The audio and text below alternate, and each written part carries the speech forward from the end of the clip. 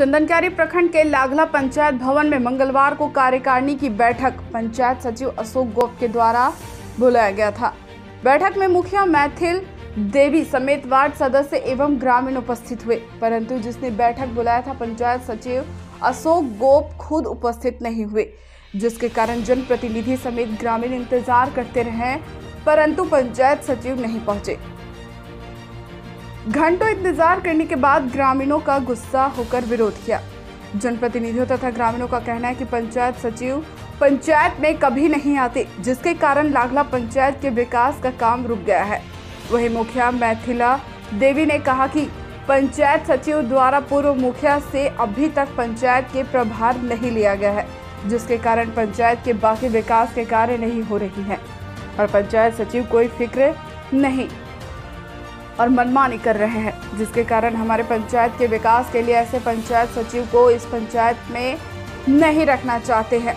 और प्रखंड विकास पदाधिकारी से अनुरोध करते हैं कि अशोक गोप पंचायत सचिव को स्थानांतरण कर दूसरा पंचायत सचिव पंचायत में दिया जाए, जिसको लेकर प्रखंड विकास पदाधिकारी को पंचायत के प्रतिनिधियों एवं ग्रामीणों द्वारा लिखित ज्ञापन देकर अति शीघ्र पंचायत सचिव अशोक घोष को स्थानांतरण करने की मांग कर रहे हैं।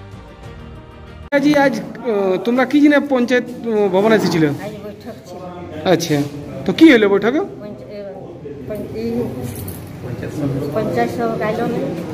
আচ্ছা।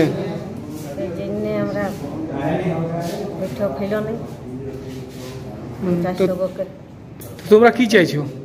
পঞ্চায়েত সবকে হটাও। কি বৈঠকের কাম করতে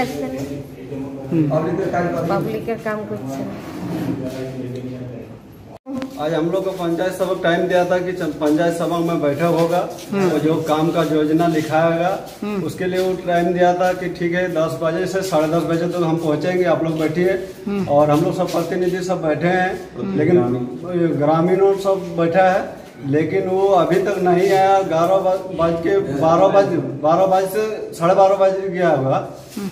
एक बजे तक अभी तक नहीं आया। इसी के कारण हम लोग बोल रहे हैं कि वो पंचायत सभा हम लोग को कोई काम में नहीं आता है कोई बुलाने से भी नहीं आता है फ़ोन करते हैं तो फ़ोन भी नहीं रिसीव करता है। तो इसको हटाया जाए इस पंचायत में उसको हमको नहीं चाहिए। हमारा दूसरा दूसरा पंचायत सबक चाहिए। जितना आज दिनांक पाँच सात को बुलाया था ये ग्यारह बजे से मीटिंग है योजना लिखाएगा। सब जनता के साथ बोल हम लोग पहुँचे हुए हैं लेकिन अभी तक पंचायत सेवक नहीं आया। एक बजने लगा। लेकिन पंचायत का काम अभी बाधित है। इतना दिन से पावर मिला है लेकिन आज तक एक, एक भी काम हुआ नहीं है। और न कभी आज तक यहाँ पर आया गया है। आज देखिए टैंकर जितना है? टैंकर है टैंकर भी खराब है जल मिलान खराब है पावर पंचायत का जो है कुर्सी डीजीपी है इधर चापाकल सब खराब गिरा हुआ है पंखा नहीं है ये भी कार्य बाधित है सब। अभी इस पंचायत में इस आप लोग क्या चाहते हैं? हम पंचायत से क्या इस पंचायत सेवक को इस पंचायत से हटाया जाए। कौन है आप लोग का पंचायत सेवक अशोक गो। हाँ।